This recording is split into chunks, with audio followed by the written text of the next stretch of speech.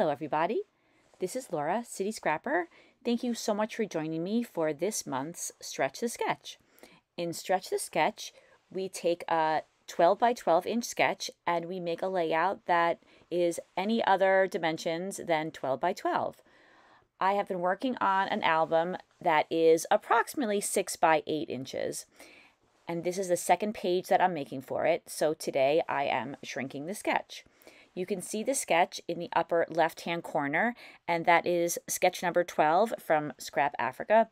I love this sketch. When I first looked at it, I liked it, but once I started working with it, I really loved it because I love the way those two I guess they're a little bit more than half circles, but those two circles bring all of your attention to your photo, to the center of your layout. The sketch has two pictures, but I'm only going to be using one picture because my layout is much smaller than this 12 by 12 inch sketch.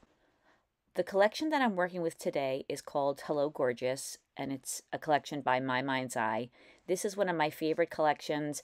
I just love the color scheme and I love the flowers that are in this collection, and it's one of my go to collections. I used Creative Memories circle cutters to cut out the two large circles, and then I had some pre-punched border strips in that darker pink color that were already in with the collection. I guess I used part of the border on another page and didn't use all of it. So I thought that that was a perfect choice to use on this layout. And the punch that was used to cut those out is a Fiskars border punch. Again, I use my Creative Memories circle cutters to cut out a circle that is slightly larger than both of these circles almost circles, and I cut it out in white so that those circles would contrast with the background so you'd be able to see the circles a little bit better. I added a striped paper along the top and the bottom border, and I also mounted that piece of paper on some white cardstock. And then I didn't make the striped paper long enough. I was working with scraps, and then I realized that it was too short, and so I just got another strip of paper and I extended it a little bit to the left. The photo that I'm scrapbooking today is surprisingly a photo of me. I very rarely scrapbook myself. The reason that I was prompted to scrapbook this picture is because I took a class with Janet Fritz, who is from Galaxy Girl Creations, and she is the person that runs Stretch the Sketch. And her class was about impactful storytelling and the first thing that happened was I got a lot of thoughts and memories and stories about myself written down. And then I thought that I would make a very small album to house these stories and also to hold a few scrapbooking pages. I'm not scrapbooking my whole life here. This is my first picture from the hospital, and I'm going to scrapbook a few other pictures that highlight some of the journaling that I've done, but I do expect that most of this album is going to be journaling. So this is going to be the first page in the book. And I have to laugh. This baby picture looks like I have a floating head and that my head is kind of pointy. But uh, I am really happy to have this photo because there aren't too many baby photos of me. So this is definitely a photo that is very well known to me, and I think that it would be a great beginning to this album. As you can see, I'm starting to embellish the page now. I'm mainly using chipboard pieces that are from this Hello Gorgeous collection. There was a chipboard title that said girly, so I cut off the Y and now it says girl. There was a little teacup that I thought would look cute on the layout, and so I put that in the upper left-hand corner along with some chipboard buttons.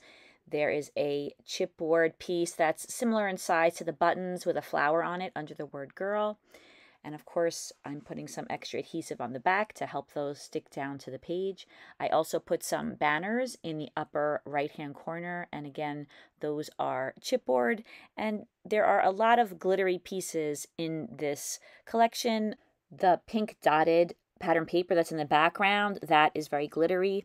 Also, the pink button to the top are glittery, and the pink banner has a dark pink glittered top to it. So I like that idea of having some glittered pieces on this little girl page. So I decided to add some letters that say it's a. These are Pinkfresh Studio letters. And at first I thought maybe I could put the it's uh, on top on that teacup, but it's just too far away from the word girl for the title to be clear. So I put those letters on the bottom right next to the word girl. And then I didn't have an apostrophe. There were no apostrophes in that collection. So I cut the center of an O, I cut a little crescent shape and made an apostrophe with that little scrap. I put some ATG adhesive on the back of the word girl to hold it down. And I arranged those white letters off camera and glue them down. They really did not stick to the page at all, but I really like them and a little glue just fixed that. I wanted to add something frilly to the page, but I didn't want to add too much dimension, so I decided on this Paper Studio bow. I liked the way the white was very clean looking, and I think that it is also very noticeable on the layout. Originally, I had two blue enamel dots and one white enamel dot in the upper left-hand corner and the lower right corner. I then decided that I wanted to have all the different dots different colors, so I replaced one of the blue dots in each cluster with a green dot. And then I also added some enamel dots to the banners that are on the top right, and then I fussy cut out some flowers from the pattern paper. I attached those down to the page, and I added some enamel dots to the centers of a lot of those as well.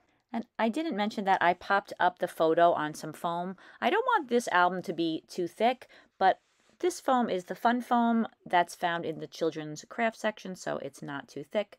And then I also popped up the flowers to the left of the title.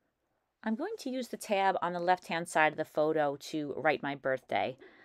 I also wanted to add some highlights to the word girl, so I used a white paint pen, and I was having a little bit of trouble with my white paint pen. I had to keep shaking it, but I was eventually able to get the paint out and I did have to put a couple of coats of the white paint on so that it was noticeable enough and white enough. I like the addition of the white on the chipboard title though. I think that it draws a little more attention to it and makes it a little bit more interesting. And then so that the title isn't the only place on the layout where I have white highlights, I decided to add a little highlight to the cup at the top of the page, and that is the last touch on this layout. Thank you so much for watching, everybody.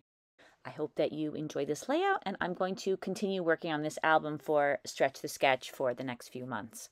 Please take a look in the description box to find the links to all the other participants in Stretch the Sketch. You'll find lots of inspiration in their videos. I hope that everybody has a fantastic day, and I'll see you again next month for Stretch the Sketch. Take care. Bye bye.